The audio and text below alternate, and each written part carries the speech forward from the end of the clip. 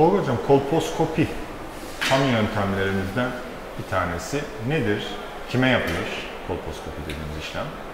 Kolposkop ya da kolposkopi sistemi e, rahim ağzını, başta rahim ağzını ama sadece rahim ağzını değil, aynı zamanda vajinayı ve dış genital sistem dediğimiz vulvayı da e, 20 ila 40 kat büyüterek çıplak gözle göremediğimiz e, gizli hastalıkları açığa çıkarmak için kullandığımız bir optik sistem. Kime yapılır? Ve mikroskop gibi bir sistem. Mikroskoba benzer. Aslında mikroskopun çalışma Büyüteç. prensiplerinden biraz farklı olmakla birlikte evet bir optik sistem aynen mikroskop gibi. Ee, kime yapıyoruz? En sık indikasyonumuz yani en sık yaptığımız sebep e, smear ya da HPV yani rahim ağzı kanseri tarama testlerinden bir tanesinde anomali olması.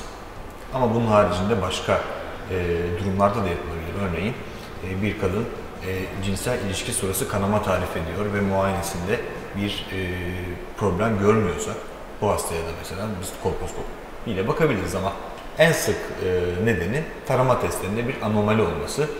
Yani anormal simirin tanısını koymak. Anormal simirin altında gerçekten bir hastalık var mı? Yoksa yanlışlıkla mı anormal çıktı o test? Onu anlamaya çalışmak. Peki kolposkopide problemli olarak bazı durumlar rapor edilebiliyor. Yani patolojik olarak rapor edilen bazı sonuçlar var. Örneğin aseto beyaz alan gibi. Böyle durumlar nelerdir kolposkopi sonucunda bize patolojik olarak rapor edilen durumlar? E, Evet artık e, internetin hayatımızın her alanında olduğu, olmasından dolayı e, herkes e, ya da bu işle ilgilenen ya da başına e, bu tür şeyler gelmiş her kadın e, açıp Google'a baktığında kolposkopinin e, anormal bulgularıyla karşılaşabiliyor. Acetovite alan ya da Lugol negatif alan gibi. E, biz biraz önce de söyledim kolposkopi ile e, rahim ağzını ya da diğer e, dış genital organları büyütüyoruz.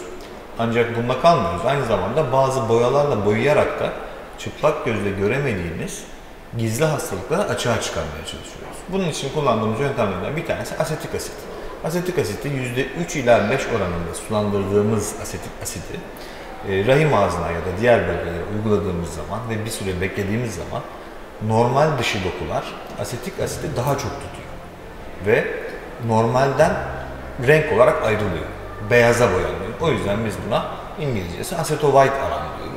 Acetovite alanların da tabi boyayı tutma derecesi ya da e, farklı görünümlerine göre ayırıyoruz ama acetovite alan e, biyopsi yapmadan diyen alan. Yani oradan biyopsi yapmak, e, tanıyı koymak için e, daha yüksek olasılıkla tanıyı koyabileceğimiz bir alan demektir. Peki bu kolposkopi işlemini ameliyathanede böyle genel anestezi altında mı yapıyoruz? Anestezi vermemiz gerekiyor mu bu işlem için?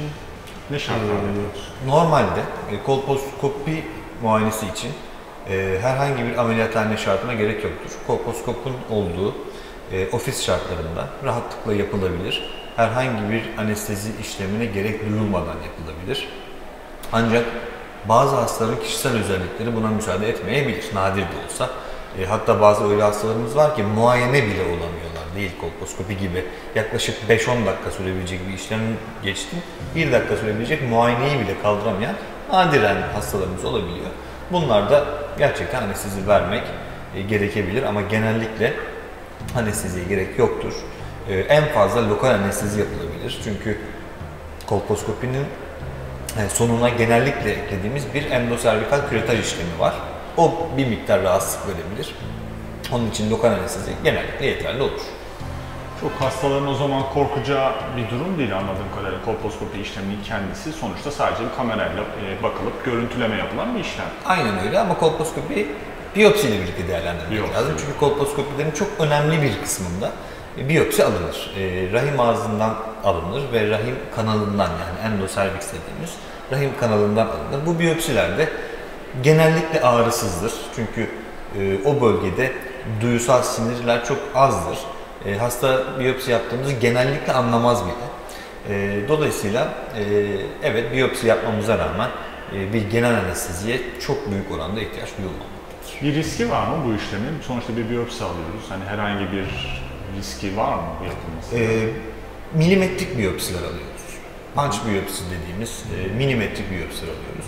E, dolayısıyla riski yok denecek kadar azdır. Oradan bir enfeksiyon ya da ciddi kanama riski yok denebilecek kadar azdır ve hatta gebelerde bile yapılabilir. E, bir gebede anormal ama yüksek dereceli anormal bir simyerle karşılaşmışsak biz gebelerde de rahatlıkla kolposkopi ve biyopsi yapıyoruz. Gebelerde yapmadığımız tek şey endoservikal kanal küretajıdır. O gebeliğe zarar verebilir. Onu e, kesinlikle yapmıyoruz ama bunun haricinde kolposkopik biyopsiyi bir gebeye bile rahatlıkla uygulayabiliriz. Örneğin bir gebede askus gibi bir sonuç geldiğinde bunlarda kolposkopik biyopsi yapıyor muyuz? Yoksa özellikle kanserden şüphelendiren bir durum varsa mı yapmamız gerekiyor? Evet, gebelerdeki anormal simyel yönetimi e, gebe olmayan kadınlara göre biraz farklı. E, dediğiniz gibi askus düşük dereceli bir anomali. Hatta askusun daha yükseği ama yine de düşük dereceli anomali olan Lawson'da da e, gebelikte kolposkopik biyopsi yapmaya gerek yoktur. E, ancak yüksek grade ya da high seal dediğimiz bu e, anomalilerde mutlaka kolposkopik biyopsiyi gebelerde de gebelik sonunu ertelemeden yapmayı tercih ediyoruz. Peki kolposkopi sırasında ya da kolposkopiden sonra hastanın dikkat etmesi gereken bir şey var mı? Şunu yapmamalı, böyle bir şey. Bir kısıtlamamız oluyor Yok mu? sadece biyopsi yaptığımız hastalarda birkaç gün cinsel perhiz ol, olmasını tercih ederiz. Çünkü biyopsi yaptığımız yerler e, hafif de olsa kanamaya meyilli yerlerdir. E, bunun haricinde dikkat etmesi gereken hiçbir şey yok.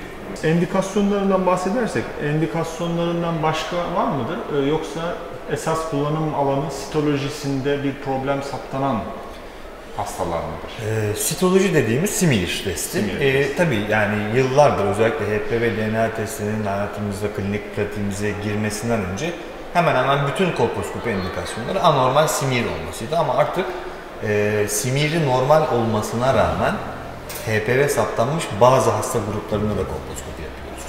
Örneğin bunu tiplendirmenin çok önemi var. Simiri tamamen normal olmasına rağmen HPV 16 veya 18 gibi çok yüksek riskli bir HPV varsa hastada simiri normal olmasına rağmen kolposkopi.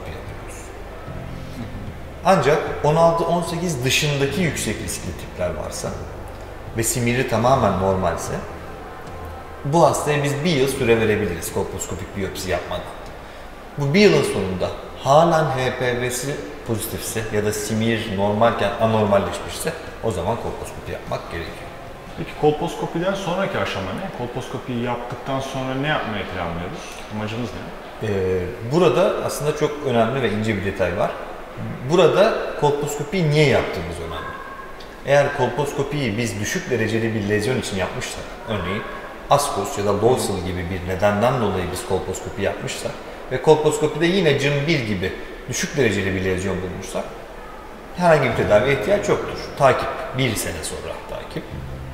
Ama kolposkopik biyopsi neticesinde e, bir şey bulmamışsak bile önceki simir haysi ise o zaman yine kolposkopimize güvenmeden bir eksizyonel prosedür, LEEP gibi e, bir e, rahim ağzının tıraşlanması diye halk arasında isimlendirilebilecek bir işlem yapmak gerekebilir.